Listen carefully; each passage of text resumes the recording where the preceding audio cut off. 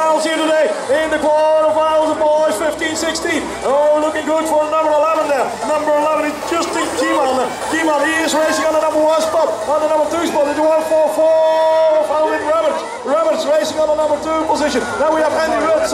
Andy Rutz, he is racing on the number three spot. Number four spot for the Look Look team. Look Look team. Oh, the number four spot is Kieman and Dijssel. Lost straight away. Lost straight four guys who go, that go into the semis.